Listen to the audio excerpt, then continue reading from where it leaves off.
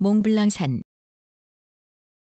알프스 산맥의 최고봉 높이 4,807m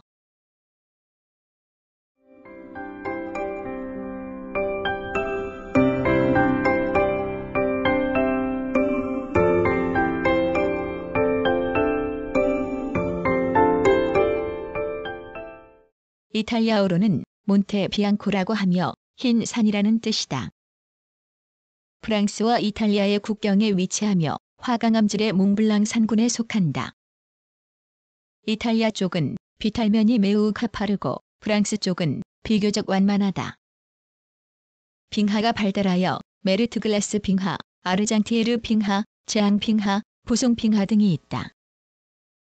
정주 지력으로서는 이탈리아 쪽에 해발고도 1306m의 앙트레보가 있고 프랑스 쪽에는 몽블랑의 등산 기지로 유명한 샤모니 몽블랑이 있다.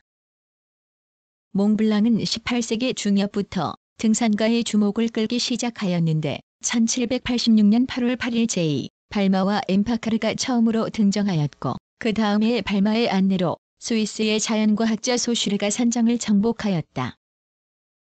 현재는 샤모니 몽블랑과 앙트레브를 잇는 케이블이 있으며 또 이탈리아의 쿠르마이웨에서 프랑스의 샤모니 몽블랑에 이르는 몽블랑 터널이 뚫려 관광도로 겸 프랑스와 이탈리아 간 산업도로로서 이용되고 있다.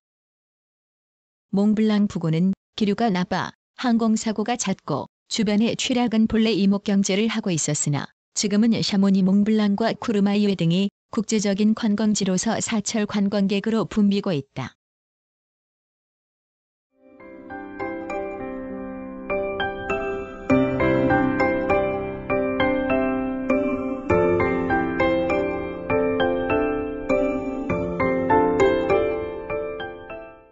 구성 나그네 구석구석 여행 들어주셔서 고맙습니다.